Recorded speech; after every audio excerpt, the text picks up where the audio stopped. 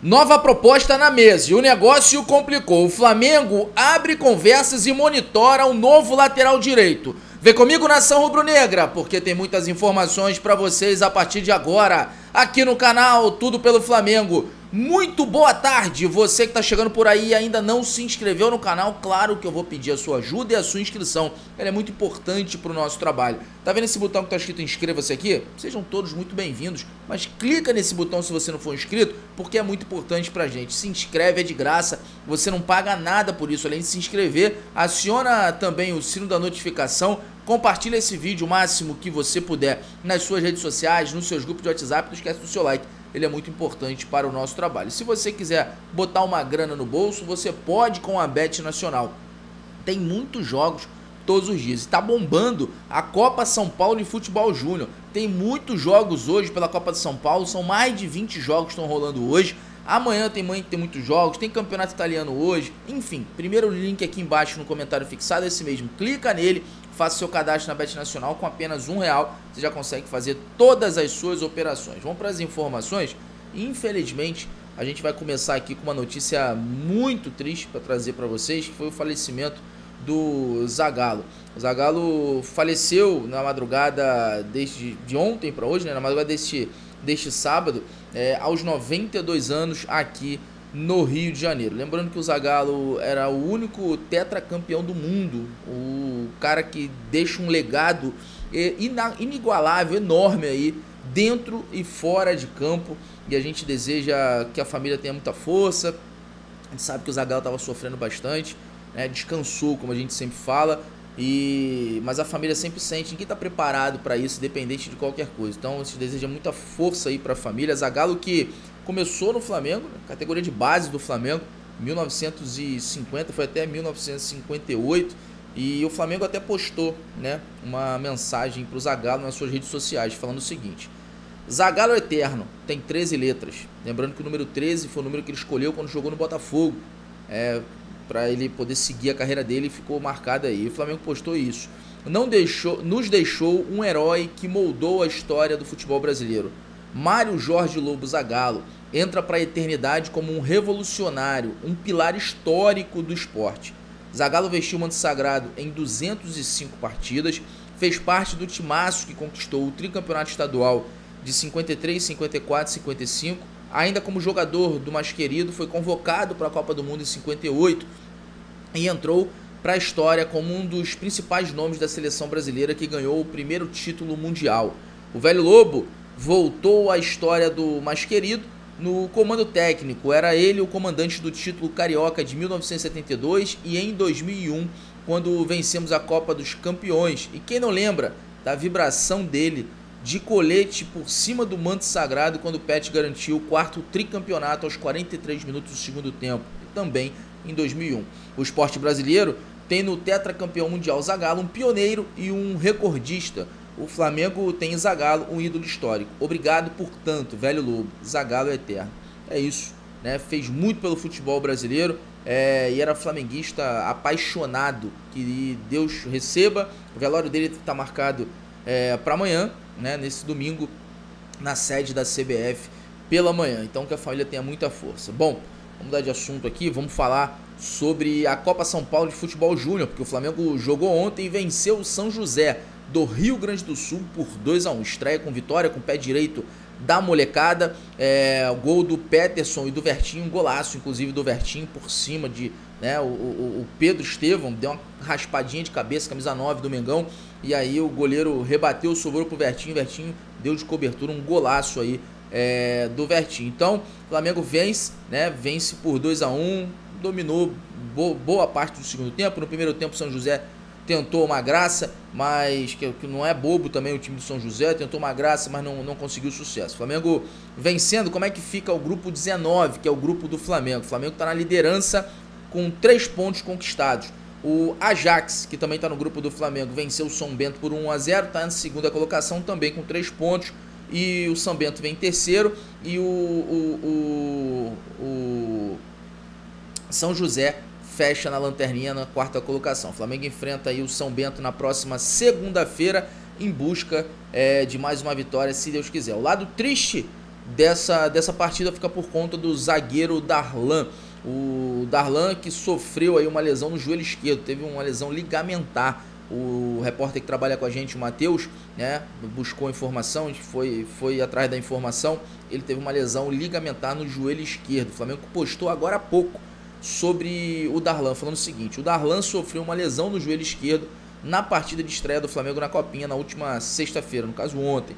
Após exames preliminares em São Paulo, o zagueiro retorna ao Rio de Janeiro para novos exames e sequenciado tratamento.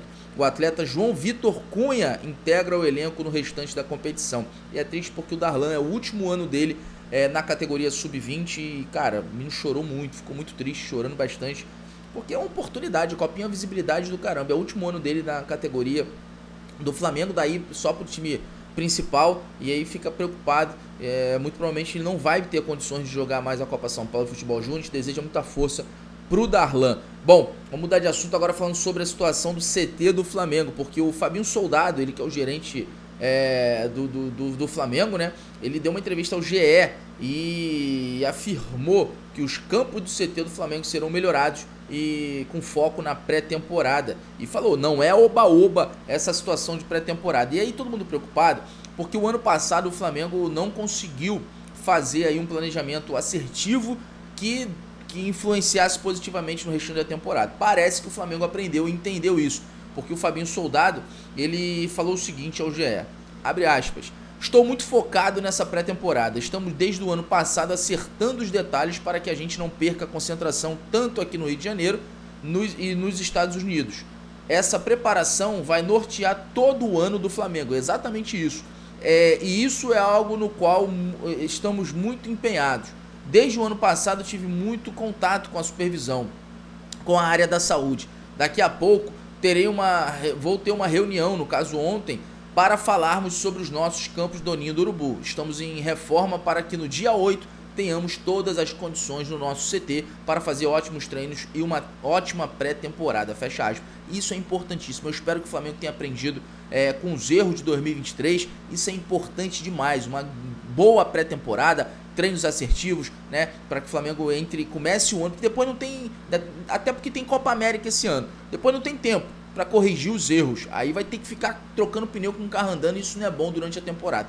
Então espero que tenha aprendido, que, eh, que faça tudo corretamente. De acordo com o Fabinho Soldado, o Flamengo já já está avisando isso e vamos ver o que, que vai acontecer. Pelo amor de Deus, vamos entrar no mercado da bola. Tem muita coisa para poder falar sobre isso com vocês também.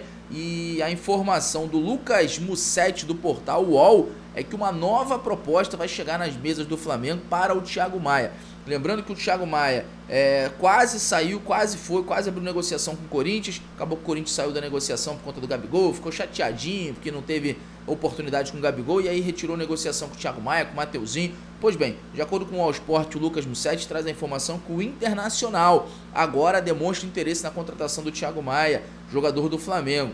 Ciente do impasse entre Corinthians e o Flamengo, a equipe colorada busca tomar a frente das negociações e fechar com o volante de 26 anos. Então vamos ficar ligado aí, porque pode chegar uma proposta, uma nova proposta para o Thiago Maia é, sair do Flamengo e ir para o Internacional. Você aprova isso? Você acha que o Thiago Maia já deu o tempo dele no Flamengo de fato? Comenta aqui embaixo, quero saber a sua opinião. Bom, vamos falar agora sobre a situação de, do zagueiro Léo Ortiz, porque, irmão, melou a, a, a relação, hein? Abalou, azedou a relação comercial entre Flamengo e Bragantino. Por quê? O Bragantino tá fazendo jogo duro. Tá fazendo jogo duro com o Flamengo. Só que assim, só qual é o problema? O problema é que pro Flamengo o Bragantino quer vender aí por 11, 12 milhões de euros. Aí quando é para clube lá de fora, o Bragantino aceita vender por 6.5, 6 milhões e meio de euros. Pô, Flamengo já negociou com o Bragantino várias situações, era uma relação amistosa. Natan, né? O Flamengo vendeu o Bragantino aí por ao todo 27 milhões de reais, 5 milhões de reais no imediato e 22 milhões de reais se batesse as metas. Bateu, depois o Bragantino vendeu por 50 e poucos milhões de reais o Natan. Né? O Matheus Gonçalves, o Flamengo emprestou ao Bragantino sem custo nenhum, ajudou o Bragantino a chegar em Libertadores, ajudou o Bragantino aí é, crescer. A questão do Fabrício Bruno, o Flamengo foi lá e pagou 15 milhões de, de reais ao Bragantino pelo Fabrício Bruno. Então, relações, negociações que sempre foram boas para os dois lados. E agora o Bragantino está fazendo esse jogo duro aí, está fazendo esse papel com o Flamengo. Para vender lá para fora, aceita vender mais barato. E não chegou proposta nenhuma pelo, pelo atleta. Para o Flamengo, quer dobrar o preço. Então, assim, isso tudo azeda a relação entre Flamengo e Léo Ortiz. Aliás, entre Flamengo e Bragantino pelo Léo Ortiz. Então, assim, vamos aguardar. Espero que o Bragantino repense um pouquinho, veja o que está fazendo, porque manter uma relação boa com o Flamengo ou qualquer outro clube, isso é importante demais, né? Azedar a relação é complicado. Enfim, mas a situação no momento é isso. O Bragantino não dá o braço a torcer. Vamos sair de zagueiro, vamos falar sobre lateral direito, que é uma posição onde o Flamengo é, já disse que não vai contratar agora, a não ser que tenha uma oportunidade de mercado. E a informação que saiu do portal Premier League Brasil é que o Flamengo fez uma consulta pelo lateral direito Emerson Royal do Tottenham. Lembrando que o Emerson Royal está com 24 anos, é um jogador revelado aí pela Ponte Preta, passagem pelo Atlético Mineiro até ir lá para fora, tem contrato com o Tottenham até junho de 2026 e avaliado na casa de 18 milhões de euros. É um jogador que faz a lateral direita, mas joga também na zaga e é um jogador que o Tottenham utiliza bastante. Mas a informação da Premier League Brasil, esse portal, é de que o Flamengo fez uma consulta e monitora o jogador com o interesse de contratar. O, o Emerson Royal tem passagem por Barcelona, por Real Betis, né?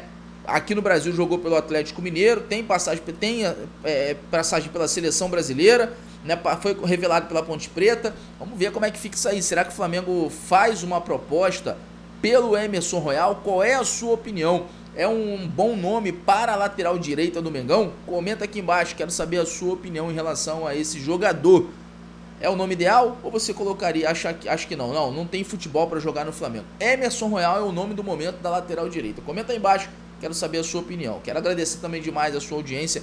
Muito obrigado por você estar aqui junto com a gente mais um dia e mais um vídeo. Pedir para você que chegou até aqui, irmão, nesse, nessa parte do vídeo, não se inscreveu ainda, vem aqui embaixo nesse botão, é de graça, clica nele e faça a sua inscrição. Além de se inscrever, aciona também o sino da notificação, compartilha esse vídeo o máximo que você puder nas suas redes sociais, nos seus grupos de WhatsApp, não esquece do seu like, ele é muito importante também para o nosso trabalho. Não esquece de se cadastrar na Bet Nacional para faturar uma grana, hein? Sabadão, dinheiro no bolso, é sempre é, é, importante e é bom, né? Mas com responsabilidade, pé no chão. E na Bet Nacional você pode seu cadastro de graça e com um real já consegue fazer suas operações. Tem muitos jogos hoje. Primeiro link aqui embaixo, clica e faça o seu cadastro de graça, você não paga nada. Mais tarde a gente volta com muito mais informações para vocês. E aí, enquanto isso, ó, vocês podem assistir, tem muito conteúdo aqui no canal. Tamo junto. Saudações rubro-negras.